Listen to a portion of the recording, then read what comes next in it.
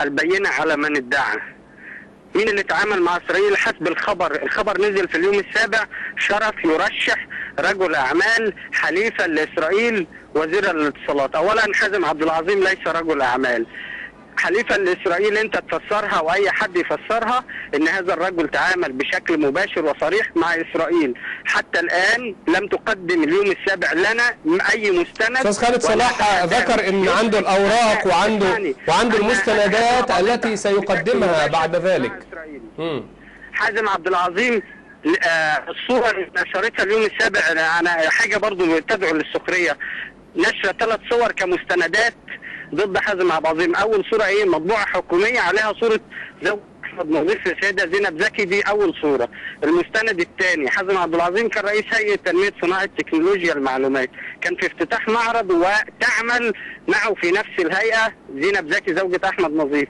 وموجود رئيس الهيئة الحالي اللي هو ياسر القاضي في الصورة. وموجود العميد أحمد عيسى اللي هو كان ماسك العلاقات العامة في الهيئة. هو ده المستند ضد حازم عبد العظيم ثم نأتي للصورة الثالثة بقى جايبين صورة عملوا search بعد ما يعني الخبر طلع افتكاسه بتاعهم عملوا search على النت عن الشركة اللي هي أورن الإسرائيلية ده فلقوا مسؤول في الشركة موجود على الفيسبوك راح جايين واخدين صورة ال profile بتاعته وحاطين عليها لوجو اليوم السابع. نعم نعم أستاذ. محمد. لكن يا أستاذ خالد صلاح منذ قليل صرح في مداخلته الهاتفية إنه لديه المستندات الكاملة والوافية أنا- أنا زي ما قال هذا الامر حازم لإدانة عبد العظيم هل ترى هل ترى هل ترى هل ترى مع رجل إسرائيل؟ صحفي يا أستاذ أنا محمد؟ في التحرير هنشرها أول واحد في الصفحة الأولى.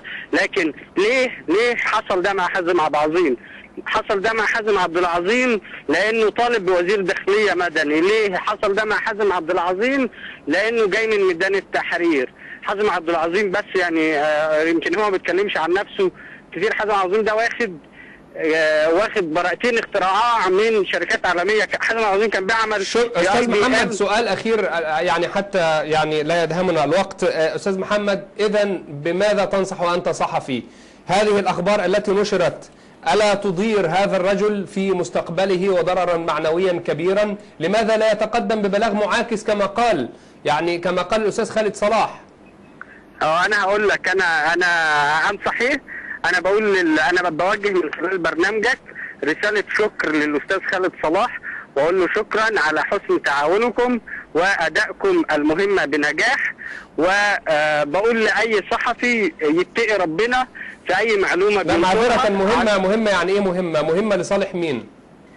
مهمة لصالح من سرب له المعلومات. يا صديقي لأفهم كيف يتم تسريب خبر من مصدر مجهل لموقعين إلكترونيين تحديدا ويتم صياغة الخبر بنفس ترتيب المعلومات بنفس نعم. المعلومات بنفس العنوان بنفس. التفاصيل آه كأننا نعود إلى عهد أسامة سرايا ومحمد علي إبراهيم ننفذ الأخبار بال- شكرا بالتعليمات. لك شكرا لك الصحفي محمد الجرحي رئيس قسم الأخبار في جريدة التحرير.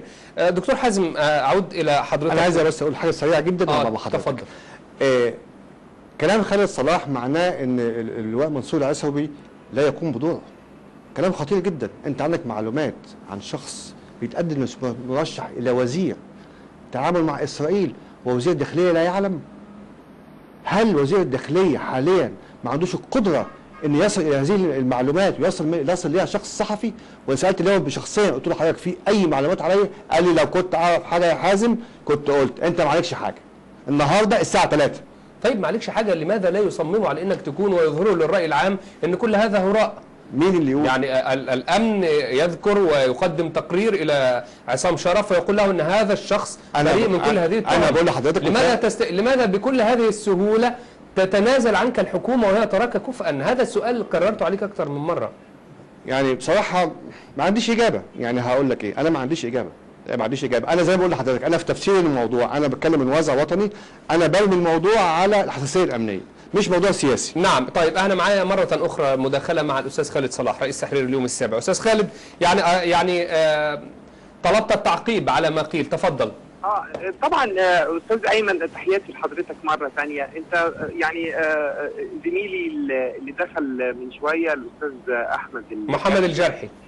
هو هو قال بنفسه إنه كان محرر في آه، ال- ال- الوزارة وكان بيغطي آه، شغل ال- الوزارة آه، وكان قريب من الأستاذ حازم.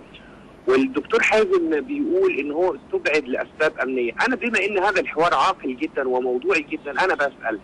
يعني يا دكتور حازم إذا أنت حضرتك مستبعد لأسباب أمنية وسياسيه باعتبارك شخص ثوري، هل تقول على مثلا الدكتور عمرو حلمي اللي هو رجل محترم ورجل ثوري وكان في الميدان طوال الوقت أنه أقل ثورية من حضرتك؟ وهل تقول على الوزراء الذين تم اختيارهم في هذه الحكومة أنهم أقل ثورية من سيادتك وأن ثوريتك فقط في موقعك في وزارة اتصالات مش في وزارة داخليه ولا حاجة، ثوريتك فقط هي التي أقامت الدنيا ولم تقعدها فتم تسخير الصحف وتسخير المواقع وتسريب الأوراق ممكن لحفاظ بقى حضرتك نعم. ممكن العظيمه طيب. يعني إن كل دول مش ثوريين أرجو الاختصار ولا أستاذ خالد أرجو الاختصار. هل هناك نقاط أخرى؟ لأن الوقت يعني كاد أن ينتهي. أنا أنا ب... أنا بخاطب عقل رجل هو دكتور في الجامعة يا سيدي خليني ارد بقى مش هنقعد خليني ارد سيرد عليك أستاذ خالد. سؤال. جيد جدا يا أستاذ خالد. أشكرك. أشكرك. سؤال جيد نعم. جدا. حتى يتمكن من الرد. تفضل تمام. بس زي ما أنا ذكرت من شوية حضرتك سألتني ما هو سبب استبعادك وأنا قلت لحضرتك السبب اللي أنا بأعلنه هو الحساسية نتيجة الجهات الأمنية لهذا الخبر.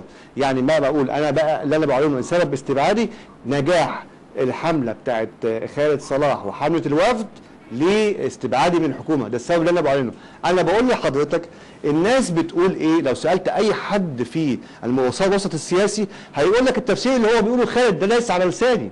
كويس؟ أنا لا أقول هذا الكلام. كويس؟ آه، آه، فده اللي أنا عايز أقوله. أنا اللي بقوله من وازع وطني وحضرتك معايا من وازع وطني عشان بحب البلد أنا لا أود أن أقول أن السبب هو كذا إن هو إن أنا كثوري وكلام من ده. إن الدكتور عمرو الحلي مثلا من الناس الكويسة وكلهم كويسين. لكن أنا بقول على الهوا السبب اللي أنا بعلنه من وازع وطني هو حساسية شديدة over sensitive للأسف كان لازم يتم التحقق منها وكان لازم يستدعوني وكان لازم ينشروا الوثائق أو يتم التحقيق معي عشان العدد ينشر وكان لازم مجلس الوزراء يطلع تصريح رسمي بسبب ما هو سبب استبعاد يعني كان في عاطف الاستاذ عاطف البنا أعتقد كان في أسباب واضحة أنا لم يعلن أي نعم شيء فتح البنا آه فتح بنا مم. أنا لم يعلن. لم نعم. يعلن أي شيء رسمي أنا مش عايز أحمل حد أي load. البلد مش مستاهله الكلام ده أنا عايز أنسحب بهدوء لأن مش في مصلحة حد إن أنا بلبلة في والضرر الذي لحق بك. معلش أنا أقول لك بقى ده ولا حق بيه أنا سمعتي حاليا الحمد لله رب العالمين اللي أنا شايفها في الع... في في مصر دلوقتي مش عايز أقول لك عاملة إزاي فأنا شايفها. شايف حب الناس شايف احترامهم ليا شايف تصديقهم ليا شايف تكذيبهم للكلام ده. فأنا اللي حضرتك اللي بتقول سمعتي سمعتي اللي أنا شايفها دلوقتي زي الفل. شكرا دكتور حازم عبد العظيم وزير بس في سؤال في, الاتصالات في, نهاية مهمة جدا نعم. في نهاية. جملة واحدة. آه آه آه لا الوقت كان مهم انتهى. جدا. أنا بقى على الهوا دلوقتي. مم. إن ده آخر لقاء حواري لكل القنوات الفضائية اللي بتطاردني حاليا. آخر لقاء حواري بخصوص ملف إسرائيل عشان عايز أركز في حاجة أنا تعهدت بنفسي إن أنا أعملها قبل ما أبقى وزير وقضية نؤمن بيها الا وهي قضية حق تصويت المصريين في الخارج. أركز بقى مجهودي كله في اللي أنا كنت عايز أعمله وأنا وزير مش مشكلة. عايز انفذه في الفترة الجاية والملف ده شكراً. كله كلوزد شكرا لك دكتور حازم عبد العظيم وزير الاتصالات الذي تم استبعاده من التشكيل الوزاري الجديد وشكرا لكل من تابعنا في هذه الفقرة